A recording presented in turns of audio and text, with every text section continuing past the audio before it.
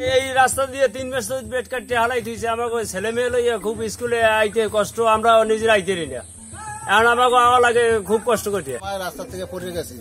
Bed ছোট চিকন পড়ে গেছি এই হাত ভাঙছে। দুই- দুইবার দুই দিন পড়ে গেছি দোনো দিন হাতে পেয়েছি।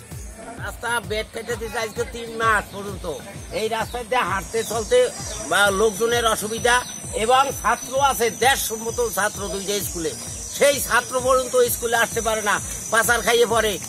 মানে হ্যাঁ, কেউ হাত ভাঙে কেউ পাও ভাঙে এই অবস্থায় আছি আমরা। আমরা অতি দয়া করি আর দেখুন আমার রাস্তাটা বালু হালান এবং রাস্তা অতি তাড়াতাড়ি মেরামত করা হয় সেই জন্য আমরা সরকারের প্রতি দৃষ্টি রাখি।